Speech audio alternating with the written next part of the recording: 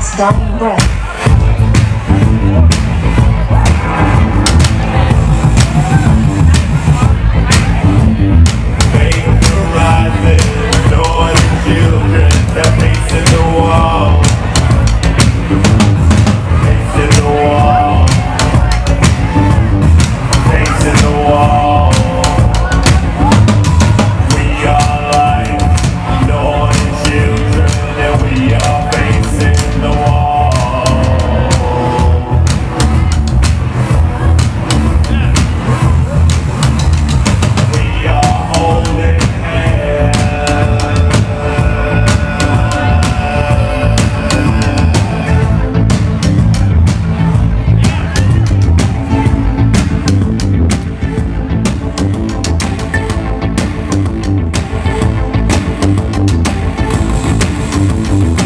It's a crazy town space man.